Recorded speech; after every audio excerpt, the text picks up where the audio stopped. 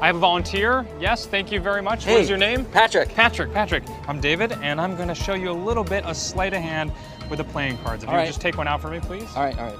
Great.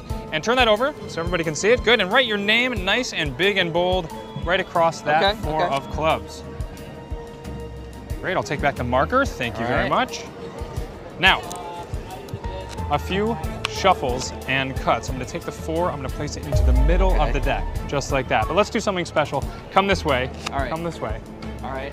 Check out the window. Watch about right there. Okay. And I'm going to spray the cards. Watch. One, two, three. What? And that should look familiar. Wait. Check it out. Check it out. I, I, I literally don't know. That's pretty cool, right? Don't miss all new episodes of Deception.